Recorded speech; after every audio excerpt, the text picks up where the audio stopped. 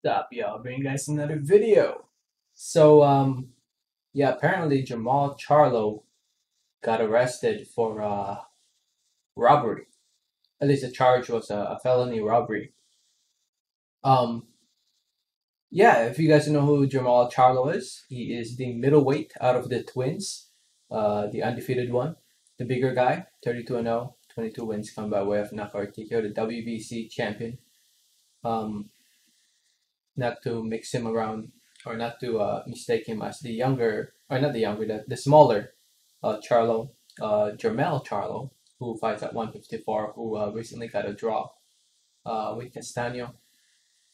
Anyway uh, there were reports that uh, Charlo Jermall Charlo got arrested. Uh, there's some articles out there if you want to read it. Here's one article right here for you guys.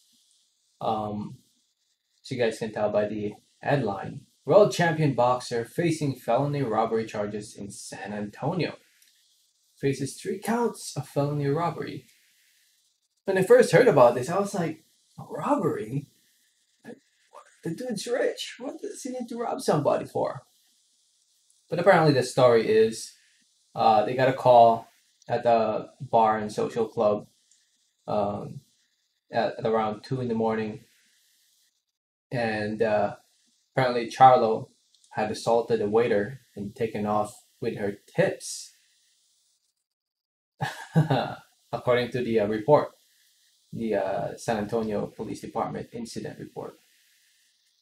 And um, let me just read for you guys word for word. It says right here the incident happened after a credit card Charlo attempted to use to pay his tab was repeatedly declined, the report states. After Charlo accused the waiter of trying to steal his credit card, Charlo grabbed two black waiter books, removing his identification from one and cash from another, according to a warrant for his arrest. So um, so yeah, so I guess uh, yeah, grabbing that cash that's not good. Even if you tip, like I think the moment you give somebody a tip, that the person you're giving the tip to, I think that's their money. And if you grab it back, I think that would be considered stealing. Or you know, if you do use force, it can be used. It can be uh, considered robbery.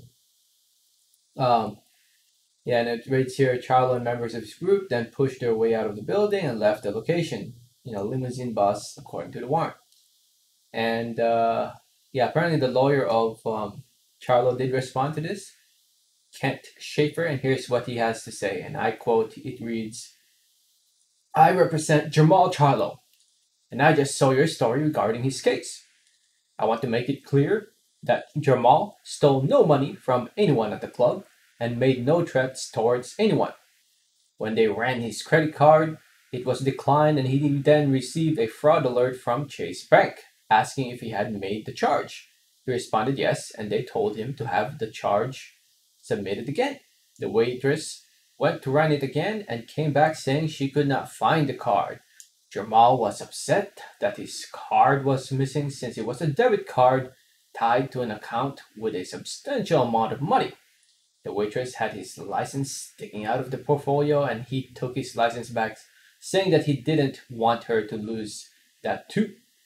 By this time, many club employees were gathering in the hallway, so Jermall's handlers wanted to get him out of the club before trouble started, and a club employee walked Jermall out to his car. Hours later, Jermall's assistant, assistant made contact with the club to give them another credit card number, but the club refused to accept it. Over the last few weeks, we have talked to the police, prosecutors, and the club owner, and although the club owner expressed his desire to drop the charges, the officer insisted on filing charges to try to embarrass Jermall. At no time did he rob anyone or take any property other than his own. So that's the story according to Charlo's attorney. So um yeah, I always said that there are two three sides to the story. His side, her side, and the truth. And um yeah, somebody's lying and we don't know who. I'm sure there's some video footage inside the uh, the club. But you know, here's the thing. The owner of the club wants to drop it, but then again, Charlo assaulted the waitress, or at least according to report, waitress and took the tips from the wait- waitress. So it's up to the waitress to drop the report or to drop the charges, not the owner. If um, you know if Charlo vandalized the place or stole from the cash registry or what have you, if he did, I'm not saying he did, if he did, then that's when the owner could drop the charges. But I guess the the uh, waitress wants to move forward with it. I guess, and um, and who knows what really happened? I mean, we don't really know unless you know you were there and you saw everything and heard everything. Um, but yeah, it sucks for Charlo man because always getting getting in trouble with the law is it's not a good thing. You know, it, it's not good, and um, yeah, I'm pretty sure. I don't know about him. The, the attorney saying that the officer insisted to file the charges to try to embarrass Charlo, Jermall. I'm not sure about that. I'm. I mean, the victim. The victim's a waitress. I mean, the victim wanted to press charges. You know, we all know why. We all know why she wants to press charges. Um, if you're wondering why, it, it's money, obviously. Um, uh, you know, if they if the the waitress has a case to move forward with this, um, you know, they, they, they she can try to find some money out of it. Um, that's the reason why. And I don't know about the the, the credit card. Um, that's weird how he, he apparently he uses debit card. That's weird.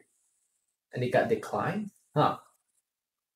That's weird kinda kinda weird that Charlo's using a debit card. Actually never use a debit card. If you're listening to me right now, never use a debit card. Because a debit card just use a credit card. Just use a credit card. Because uh, the credit card, if you lose it and somebody uses your credit card, at least you can get your money back. As for a debit card, um, yeah, that they takes it out straight out from your bank account, and uh, yeah, it's not it's not a good thing. Use a debit card. Use your credit card, people. So anyway, I just hope I hope everything goes well for Charlo. Um, you know, I'm a big boxing fan. Uh, you know, a boxing fan. I'm a fan of Charlo, and uh, I hope uh, you know whatever the story is. Hopefully, the truth will come out, and uh, you know, wish him nothing but the best when he come when he comes down to court. And if you're wondering why you know they had to arrest him and all that, it's because it's a felony felony um crime that was committed. And robbery is always a felony. I think that. If a state has, if there's a state out there that has robbery as a misdemeanor, damn, they would they would be getting a lot more robberies in that state. But uh, but yeah, we'll see we'll see what happens for Charlo in the future.